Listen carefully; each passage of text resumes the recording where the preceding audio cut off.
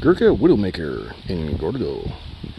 Hey everybody, I'm Kane, this is Cigar Vlog. So, managed to get this as part of a bundle, so I don't really know a whole lot about the line. It just kind of showed up, along with a bunch of others. But uh, hopefully this is not going to be an absolute nicotine bomb. And hopefully the wind will actually cooperate with me instead of blowing like crazy. Well, anyway, one things I noticed by this nice, huge as hell double cap, I don't know how well that shows up, but there you be.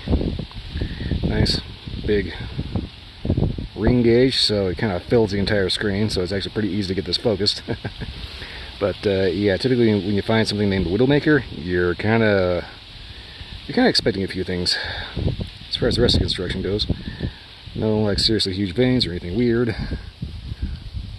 My focus is like going all over the place. Anyway, I'm gonna go ahead and get this cut lit. And the phone is free to focus to its heart's content on the fucking grass. Because clearly that's what everybody watches this show about, right? Everybody's got to see that wonderful, wonderful field grass, right? Right? Right.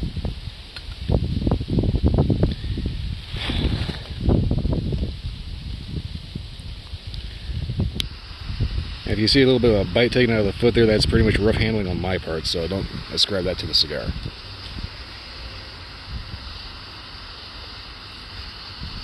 Now, it's just me remembering I needed to make a video today. Oh crap, grab and go.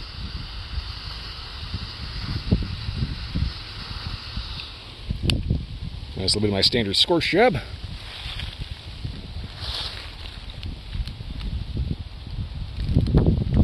I I may need to recut because the first thing I got was a mouthful of tobacco dust. okay. Nice though. Pretty good. Got a uh, light, sweet, clean tobacco. Ooh, kind of graham cracker you note in the uh, really retrohale. So far, kind of mellow, a little mild, good flavor, nice, sweet, interesting. Well, decent start so far. Let's see how this uh, ends up rolling up.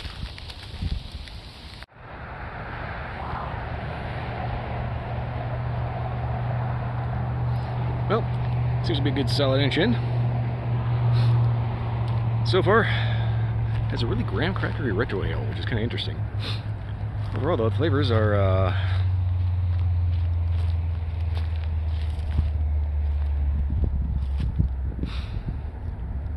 well, it's almost molassesy, but just kind of subdued.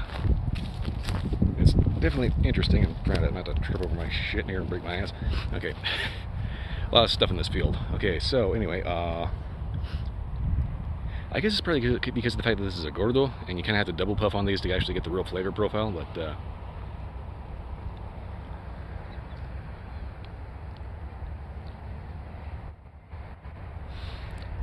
there's a there's a couple of different things going on here that I can't really put my finger on. A little bit of sweetness, kind of a molassesy kind of note to it. So you got the kind of molassesy, bittery sweet, just uh, kind of a touch of mineraliness, min mineraliness, mineral, mineral-ish. Know if I ever figure out what the hell I'm trying to say. I'll actually end up spitting it out. Anyway, so far it's got this kind of molasses graham cracker thing going on, which is very interesting and definitely not what I was expecting from something called Widowmaker. Which means that, that when I get done with this, I'm probably gonna end up. Uh, been over on the lawn somewhere. Anyway, uh, we'll, we'll see how that turns out when it uh, gets to that point. So far, nothing really seems to be standing out other than that kind of molasses graham cracker thing. So I'm going to keep going on this to the halfway point. I'm going to yank the band because it's actually really loose. I'm going to just go ahead and yank that so I uh, don't end up having the uh, cigar slip out of the band on me. That is actually uh, occasionally an issue. But uh, anyway, yeah, I'm to go ahead and get back to you at the halfway point and uh, maybe not ramble like an idiot. Well, Ash just decided to fall off, so I figure this is a good reminder of the halfway point as any.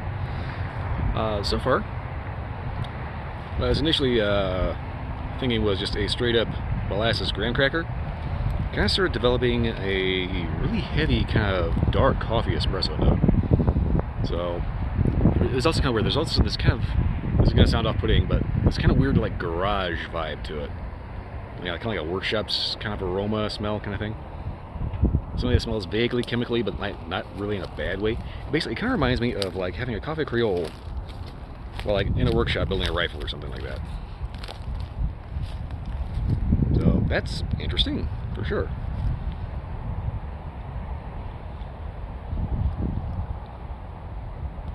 Retrohale stays pretty much the same. There's also a little bit of an earthiness developing at the halfway point here. So uh, definitely, uh, definitely interesting. Seem to be getting a little bit of transition as well. So I'm gonna go ahead and keep smoking this down and see if anything wakes up, changes, or uh, just exactly what it is. This is kind of interesting. this is definitely uh, not a sleeper. All right, see you at the end. Or the, no, I'll see you right back here.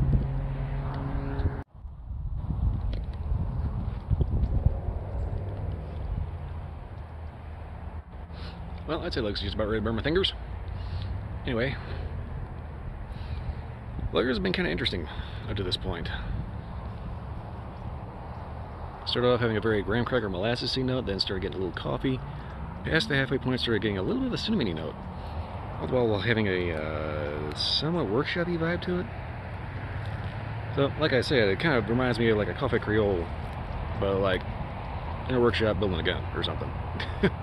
I know it's kind of a weird analogy to make, but you know, that's just kind of what I was getting off of it. Boy, that sun is going down behind that cloud real quick. Okay, I better wrap this up, otherwise I'm going to be in the dark. anyway, so far, definitely an interesting line. If you can get these uh, for a reasonable price, by all means, check them out. But uh, otherwise, I don't know what the actual price point on these, because like I said, I got this as a onesie. So, uh, know, these could be expensive. So just bear that in mind. Anyway, if uh, money's not a big issue for you, definitely give them a shot. Beyond that, hey, hey, hey, hey, that's uh, trying to not to trip over myself here. Beyond that, not much else to say. Good cigar, good cigar to think on. You might want to try these maybe a slightly smaller ring gauge because this is a Gordo, and Gordos tend to be a little muted just because there's a lot of filler.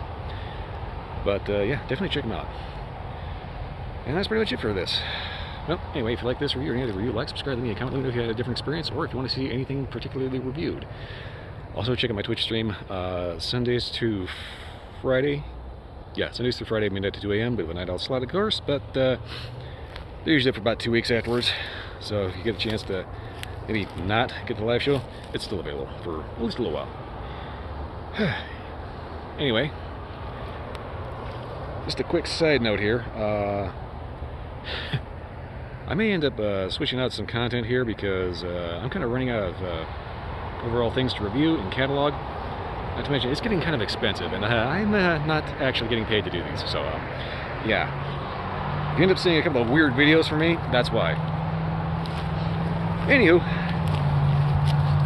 I gotta end this before I end up getting run over by a dog walker. So, that's pretty much all I got. I'll see you next time.